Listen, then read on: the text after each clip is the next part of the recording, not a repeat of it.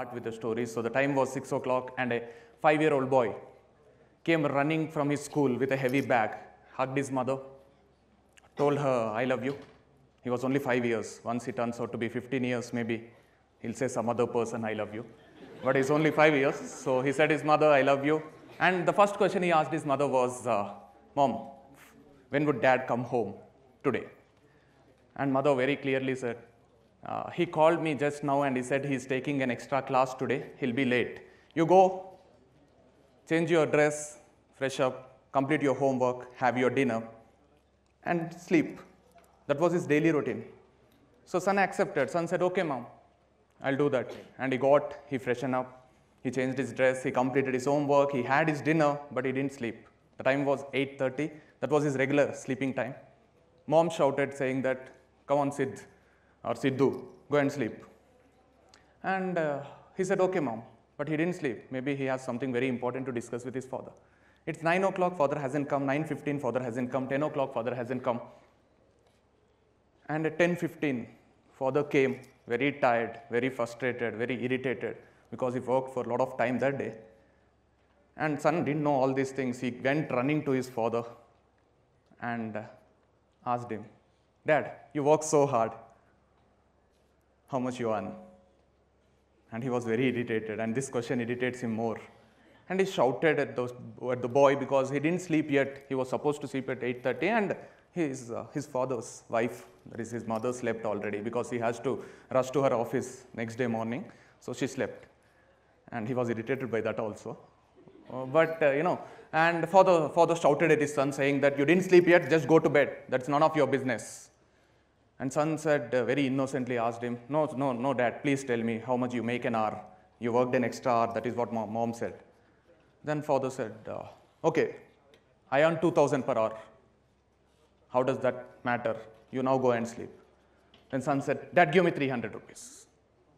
Then father couldn't control his anger. He said, Before I slap you, go and sleep. This is why you're asking me money. This is why you want to know how much I earn.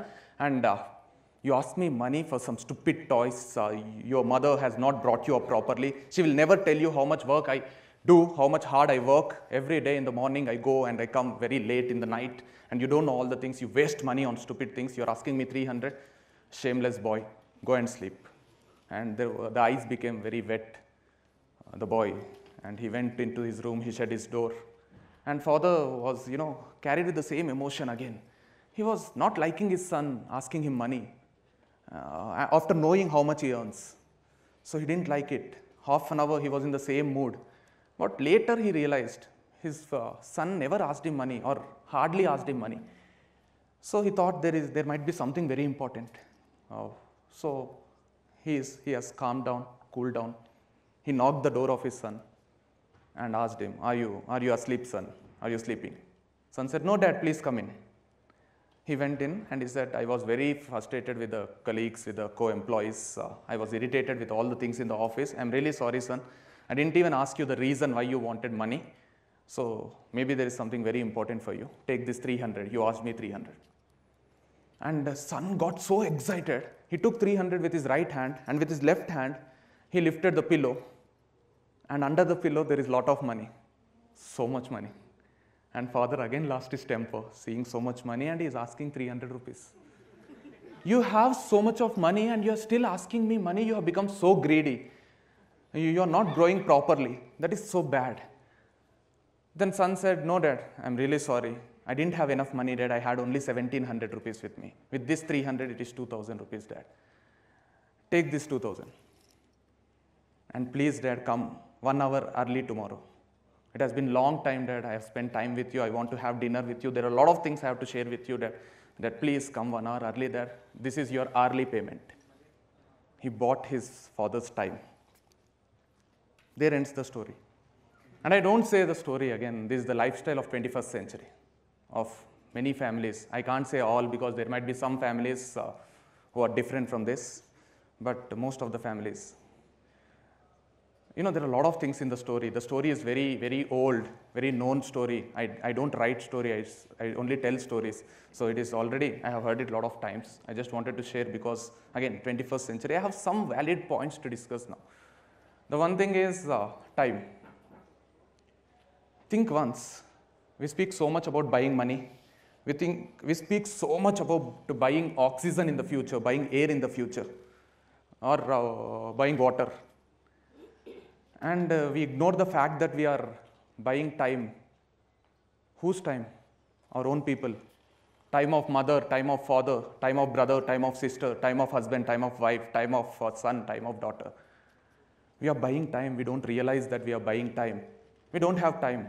We use very frequently the word we don't have time. When somebody asks me to speak to them or uh, takes an appointment, I say, okay, okay, I'll adjust time. Am I adjusting time? Can I adjust time? I'm an aptitude trainer. I speak a lot about time and work, time and distance. It looks like mathematics, time and speed. In time and work, work has come into our control. We all know that. And in time and distance, distance has come into our control. I can speak to the person who is staying in America right now, right here. I can make a video call. The distance has decreased to a major extent. And time and speed. And the earlier speakers also spoke about it. The speed, and we are in that generation where the metro trains, the aeroplanes, the rockets, we go to Chennai in one hour time. So the speed has increased so much these days. And try to understand the fact that the only time has not come into our control yet. And we say we'll adjust time. No, we have to get adjusted to the time. And time is so, so, so important. And uh, we work so hard for our bosses in the office because we have committed to something. We rush to the office on time. We have to use the fingerprint there and uh, we complete projects on time, but we don't realize that there is something called family, which accept you the way you are, which never want you to, you know, uh, change, or uh, they, they, they, they are happy with the way you are. They don't expect those commitments to be fulfilled. But we have also committed to them. While you are getting married, you take a lot of commitments, you make a lot of commitments. You have kids, again, there are so many commitments, but you ignore all the facts there. So unfortunately, the time we don't give to anyone who are very close to us. And when you get back to the story, how did father shout at him? He didn't know the reason. He didn't want it, he didn't want to know the reason. He was simply shouting at his son. That is patience. And again the same old thing. We shout so much. We, we you know, we don't have patience. That is why when I speak about T20, uh, the 21st generation, the first thing which strikes me is T20 cricket uh, which has become popular from 2006. And 2007, uh, the World Cup, inaugural World Cup, or 2008 IPL. In a couple of weeks, there is an IPL. We are so excited to watch a T20 cricket because, because it ends in three hours, three hours time. In the same country where Test cricket was so popular, uh, the five-day cricket matches uh, we watched with families. Uh, people applied for leaves. They went to the stadiums. There were packed houses in 1980s and 1990s. And all of a sudden, we are so used to this T20 cricket because we want that result in three hours. Now, when you see stadiums, there are hardly people, hardly people. There are only hundreds of people in the stadiums. There are empty stands in the stadiums because we don't have time. And uh, the short films, so popular. Again, a three minute short film will earn 3 million views in three days' time. Incredible you know, such a popularity because we are eager and I have a couple of my friends, you know, who read only first five pages of a novel and then they go to last five pages because they want to know the result. They're eager. And, uh, and that is how the things have changed in 21st century and I'm afraid. I'm seriously afraid. We are only 17 years old or 17 years, uh, 3 months and 23 days. Sorry, 2 months and 23 days. So we are only 17 years old. There are uh, 80, 83 years more in 21st, gen, gen, in 21st century. So where are we moving? What are we doing? Uh, we, we, we, we ignore certain things. And one thing I'll tell you, this is all not because we are bad. Uh, we are, uh, uh, we are inhuman. No, we are human beings. We were the same human beings. And I'll tell you one thing, uh, just try to understand. Because we don't give that importance to the time and we don't have that much patience, we every time move to the word called humanity and I go to any parties, any functions, and any public gathering, we sit together, the first thing we speak is humanity. How do we speak? How do they speak? How do we listen? They say humanity uh, decreased, humanity diluted, humanity vanished. There is no humanity for the people in 21st century. As a hu the, the human being do not exist. That is how they speak. Do we not? Uh, we, we all are human beings, aren't we? We exist. If I speak, if, if I speak, speak, speak, and fall down from here, will you say, nice happened? You don't say, it need not be my father or mother or brother running from there. Somebody from here comes running to me, they lift me up and they ask me, Are you fine? A pure humanity. When we go on the road and when we see a road accident, do we say, get excited that live accident I have witnessed? No, you don't do that. You stop your vehicle, you call the ambulance. If required, you'll take that person to the hospital in your own vehicle. And you feel so bad for him and his family. Humanity. You read a newspaper, you read a news of earthquake or a tsunami or a bomb blast, and so many people died and injured. Do you say that, uh, yes, population decreased? This is what I was waiting for. Oh, such a great news. You share with a lot of people. No, you carry that depression throughout the day. Humanity again. We watch movies and we want hero to defeat villain in the climax. Humanity. Perfect humanity. I don't enjoy any film where villain wins. Serious. Humanity. So, so let me tell you, let me tell you, the most beautiful thing, uh, the most important thing is we still hate corruption. We still hate terrorism. Still, the fundamental rights are same, fundamental duties are same. Still, the respect for the nation is same. We rise for the national anthem. Respect for the military is same. Respect for elders, respect for teachers. Everything is the same. Then how can my father's generation speak to me saying that you don't have humanity? We were like this. I have born to my father and I'll be like my father. I don't show because things have changed. I don't express humanity. I don't say again and again that I have humanity but we have humanity. You exist, I exist, we all exist, so we all have humanity. That is certain thing we all have to accept. And the other thing, very, very, very important is taking family for granted because they don't expect us to change. And the son, he wants his father's time, not money. Income minus expenditure is equal to saving, old formula. Earning money plus spending time is equal to living life, new formula, very new formula. And, uh, and let me tell you, let me tell you certain things now. See, if you don't give importance to time, if you don't balance time, and life is not uh, uh, permanent, uh, permanent, it ends somewhere. And we postpone things to that extent, and all of a sudden we realize that there is no time to postpone also. And it will be too late at times. And we regret so much, and regret is such a bad thing which can happen to a human being. Regret. I'll give you a small example how much you regret, you think now. You go on a road and there is a red signal, you stop your vehicle, the beggar comes begging, begging for money, money, money, money, money. You stop your car, you search for one rupee coin, you search for one rupee coin and you don't find, you find a two rupees coin. You don't want to give him two rupees.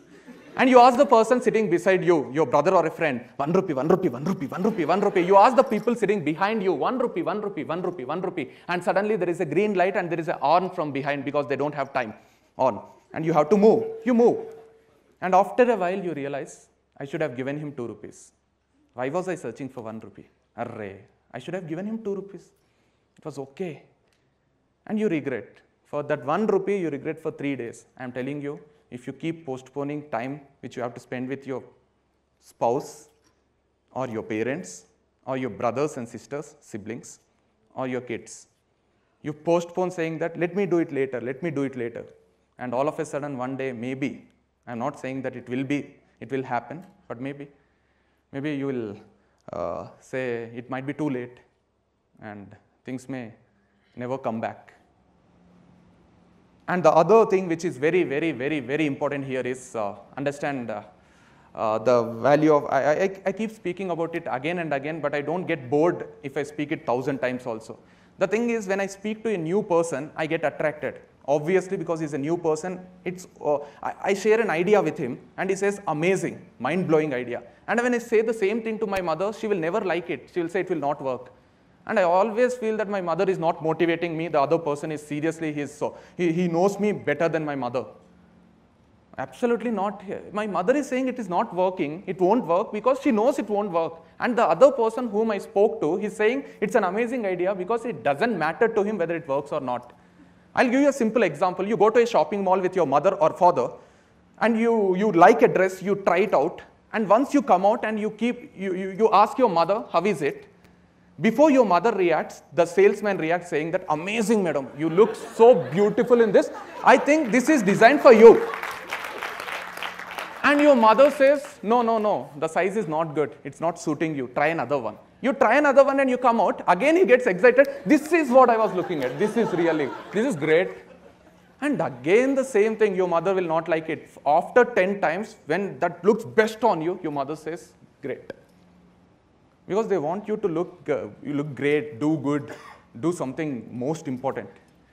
And we forgot that today we have got used to that fast culture. I'm telling you, I'm really uh, not liking, I shouldn't say that in the, in the, in the, in the talk for sure, but I don't like, uh, you know, how, how, how me and my family watch uh, movies, you know. I watch uh, in my mobile, my brother watches on laptop, my father enjoys going to theaters, my mother watches on TV. And I watch it in my room, he watches in his room. We all are together, but we are never together. And, uh, and I, I, I can't understand this. One lives in Chennai, one lives in Bangalore. Uh, parents lives, live in their villages and uh, kids in uh, America. Such a, such, a, such a bad thing of 21st century. And the, and the time spent is more, more important than the money earned. And you all have to realize that we should not smile for selfies. We should also smile with the families. We should not have fun with the alcohol. We should also have fun with all in the hall. We should not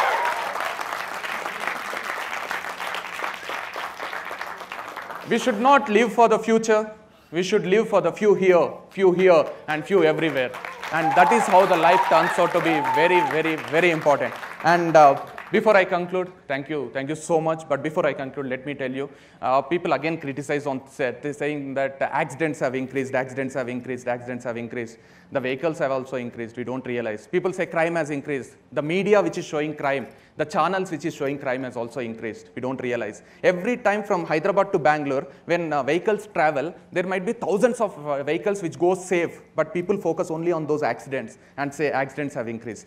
No, we focus on negatives. So we say negatives have increased, but please try to understand. The positive also have proportionately increased and proud to be human beings because we are the we are the species who save tigers who plant trees who love pets and who touch hearts.